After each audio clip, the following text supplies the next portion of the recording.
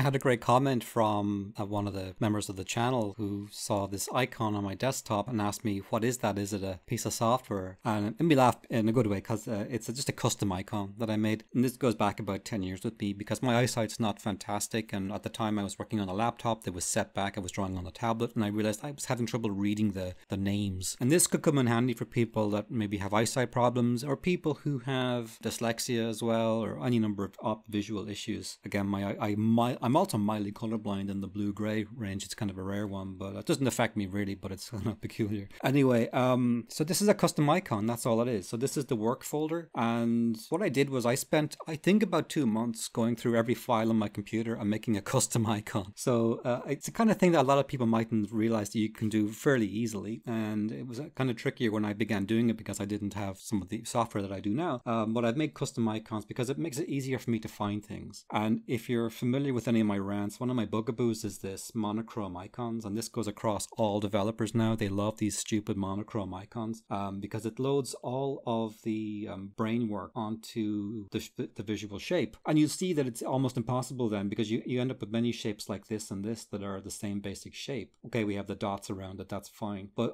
other shapes can be re- remarkably similar, and like these two are basically a, a diagonal line. And Photoshop is no different. Photoshop has the same issue. They're the their worst culprits this. I think they kind of started it all. So one of the first things your brain does with with um, recognizing patterns is color. Color is one of the first things, maybe the first thing that we notice, especially red, and that's why traffic lights are in color. They're not shapes. This will come as, as a surprise to the UI designers in Adobe. If they design traffic lights, it'll be a square, a triangle, and a circle, and they, a lot of people would die. So we have red, orange, green. Easy, easy concept. Difficult concept for a lot of UI designers. Rant over. So I thought, let's find a way to make it easier for my adult brain to be able to find the things on my hard drive. That means things that are different in color and shape. Now, now you have two ways of differentiating between the different objects that you're going to work with. So I'll just show you my work folder. I'll give you a quick tour. So this is the uh, nightmare scenario for me. It's all of my uh, YouTube and Patreon videos. Very difficult to keep on top of this. These I really don't go yet into the trouble of customizing them. My wife and I do a blog slash podcast about James Joyce's Ulysses called Blooms and Barnacles. I've been getting a bit slack with some of these, but for example, if you tell me we need to go back and edit the episode where we talked about stellar parallax in Dunsink Observatory, there you go, got a telescope. So it definitely has made my life easier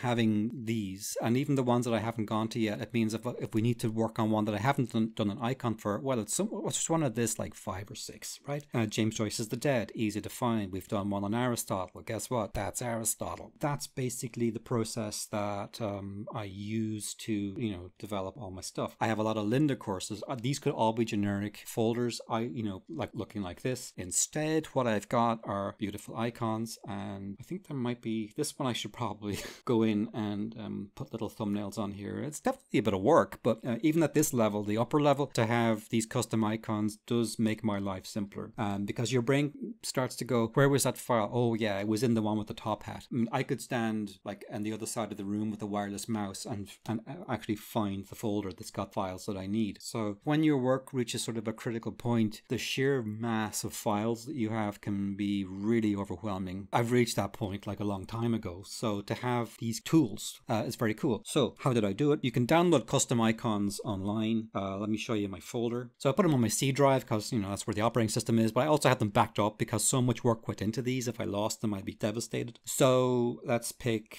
I don't know, uh, some of these are ones I, I, they're free icons that I downloaded. Um, some are just like random objects that I use whenever. Um, I apply them to new folders as I create them. I was trying to have planets. These are none, I did not make these. These were all got from one of the free icon download websites. Let me try to find one where it's full of stuff that I made. Yeah, this is a good example. So the all the Lynda courses that I made, or LinkedIn Learning as it is now, uh, needed to have custom icons, whether I was doing a course on Flash or Animate CC or Toon Boom Harmony, Photoshop, or what have you. So then I, these are generic ones that I didn't have to do. These these ones here are um, icons from slides in the courses themselves, and they definitely help me to remember. Oh right, the one with the flying alien guy with the big eyeball. Guess what? It looks like that. And I used a program called IcoFX so then you can bring your files into here. There isn't, and this will then allow you to save the files. So let me open one. I don't know, this kind of mummy here. So he has like an alpha channel behind him. And so you can create, by right click here, you can make a new image and you can,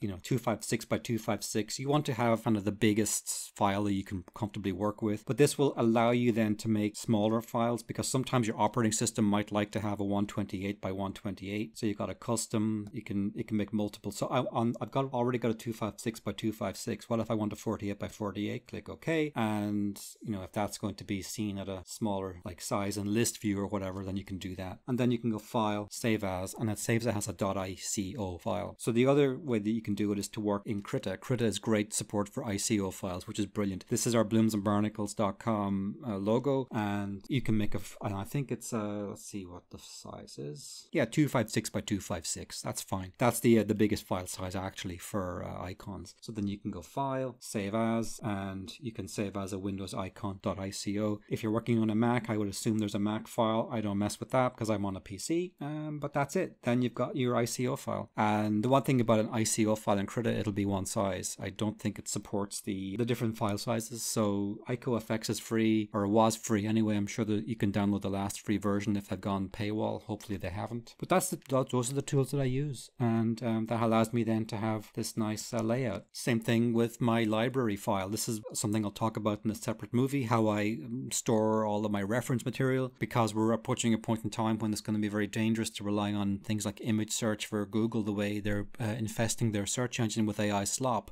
would strongly recommend to anybody to begin saving up their own personal image morgue. You can do it with physical or physical media, or you can do it with digital media. That's fine. I've been very slipshod over the years, finding really cool images and not saving them. The sooner you start, the better. Um, I've got like uh, comic book collections, uh, the uh, a lot of English focused 2000 AD, Alan Moore, of course. I love all of the old 70s uh, stuff as well. So, uh, and that's great reference. I haven't actually read The Walking Dead, uh, the later half of it, so time see here, what else do we have? My commercial art library. Uh, I love the the period stuff. Um, so again, it's trying to build up uh, a huge back catalog of stuff so that were I either the internet to go down, um, I would still be able to have access. Bernie Fuchs, great, great uh, artist. And because these um, uh, thumbnails are so big, uh, you can really get a sense for you know the the actual file. So uh, these are the actual previews as well. But here the that's as big as I can make make them. So um, that's pretty decent. That gives me a great sense of the contents of each folder, makes it much easier to find things. Uh, let's see, what else? Oh, my Don Bluth folder, which I should probably go through sometime. A lot of Dragon's Lair and Space Ace. Uh, some Secret NIMH stuff, which is nice. Uh, all the old studio news from the uh,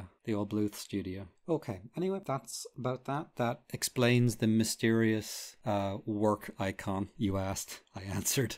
Um, but yeah, like I probably could talk uh, more length about like building up a library of visual reference material um, and the importance of saving it too. I don't have a sponsor, so if you want to support my work and help it to continue, you can subscribe to my Patreon. I'm making new animation projects week by week and providing animation assets that can be downloaded and used. I also have a very large collection of tutorials in the LinkedIn Learning Library covering animation and design, and I'm putting all the links to these in the notes below.